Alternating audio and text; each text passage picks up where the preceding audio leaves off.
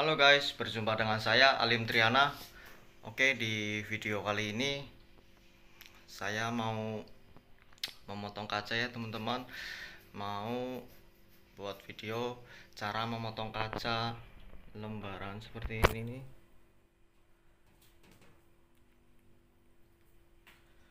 Cara memotong kaca lembaran tanpa meja ya teman-teman karena saya belum ada meja untuk memotongnya jadi nanti saya itu memotongnya di ini di lantai dilapisin karpet. Oh ya ini juga sebenarnya yang memotong bukan saya tapi kalau saya teman-teman saya hanya membantu saja. Nanti saya videoin semuanya lah. Dan buat teman-teman yang sudah ahlinya di bidang kaca skip aja videonya. Ini karena saya hanya seorang pemula ya teman-teman buat teman-teman yang mau belajar di channel ini silahkan kalian simak saja videonya sampai selesai ya teman-teman. Dan di video ini dibuat karena saya hanya ingin mendokumentasikan dan juga saya ingin berbagi sama kalian ya teman-teman.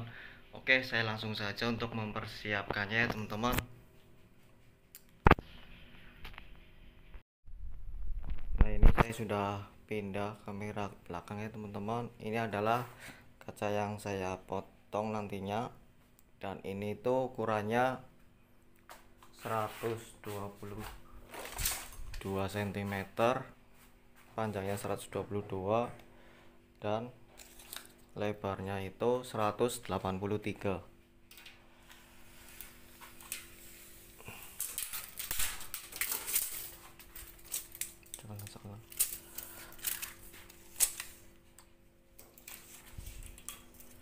nah ini ya teman-teman 122 cm dan lebarnya itu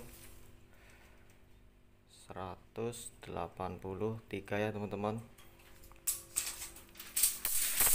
Ini saya ini nanti kakak saya yang memotong dan saya hanya memegangnya teman-teman. Semoga saja sih bisa memotong kaca lembaran seperti ini oke ini nanti saya persiapkan dulu ya. Supaya nanti viewnya itu terlihat sama teman-teman di rumah.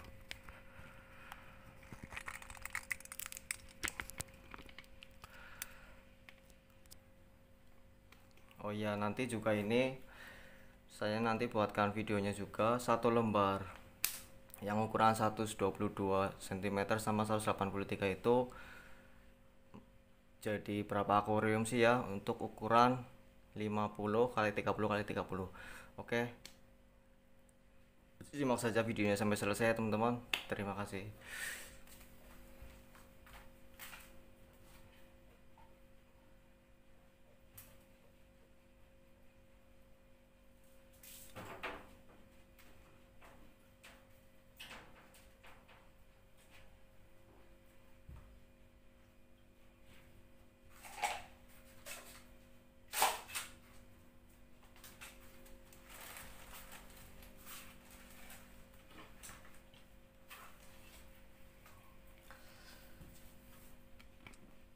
Nah, pertama-tama itu diletakkan di karpet seperti itu ya teman-teman tuh di lantai, dilapisin karpet.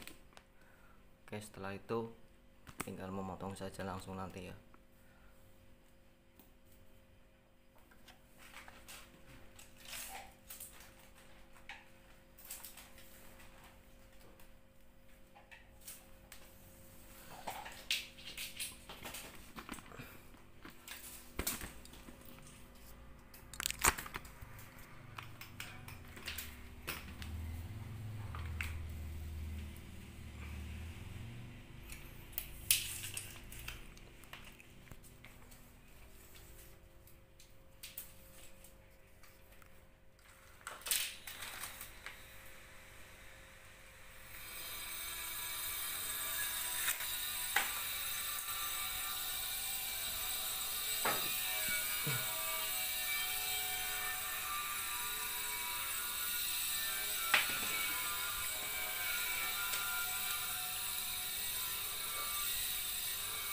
garisannya itu saya memakai ini nih kayu seperti ini ya.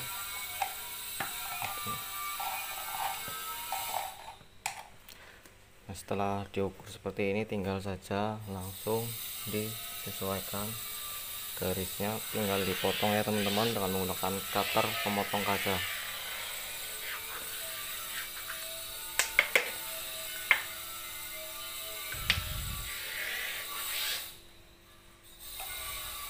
ini saya hanya megangin ininya ya teman-teman nanti tuh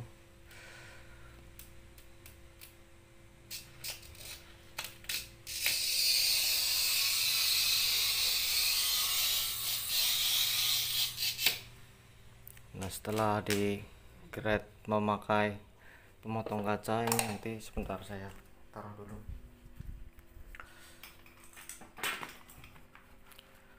supaya kalian tahu proses memotong kacanya ya teman-teman. Sebentar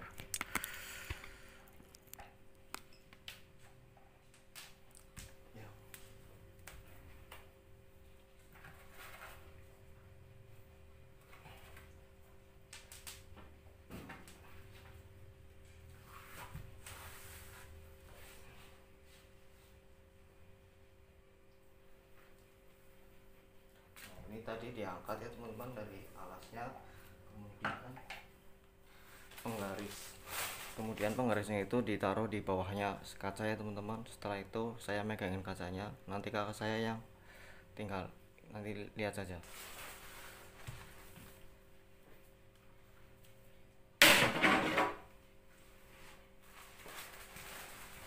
Cecet oke teman-teman. Nah ini hasil potongannya.